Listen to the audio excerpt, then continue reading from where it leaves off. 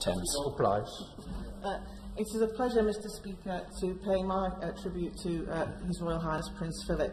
And we've heard lots today about his distinguished naval career. But the sea remained in his blood for the rest of his life, and I'd like to just thank him for all the support he's given to the maritime sector, and in particular to highlight his contribution to bringing the Cutty Sark to Greenwich, which is now a permanent landmark which will be his lasting legacy here in London. also I'd like to just refer to the fact he came down to Thurrock to visit our newest port, our then newest port, London Gateway, in 2011. And that was a visit he made at his own personal request because of his genuine interest in ships and the sea. And we're very grateful for all his support to the sector. Now, he lived by the principle, never complain, never explain.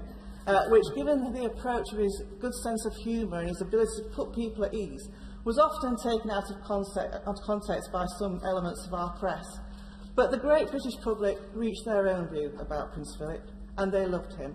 And I genuinely hope that the outpouring of affection that we've witnessed over the last few days is of real comfort to Her Majesty the Queen and the Royal Family as they mourn his loss.